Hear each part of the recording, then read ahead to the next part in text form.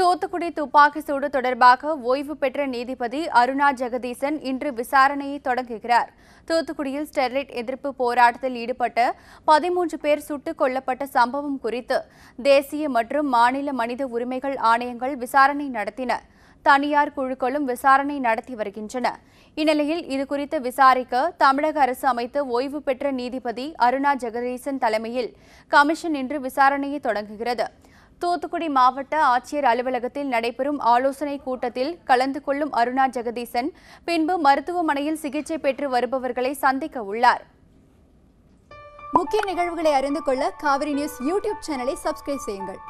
உடனுக்குடன் செய்திகளை தெரிந்து கொள்ள காவிரி நியூஸ் சமூக வலைதளங்களோடு எப்போதும் இணைந்திருங்கள்.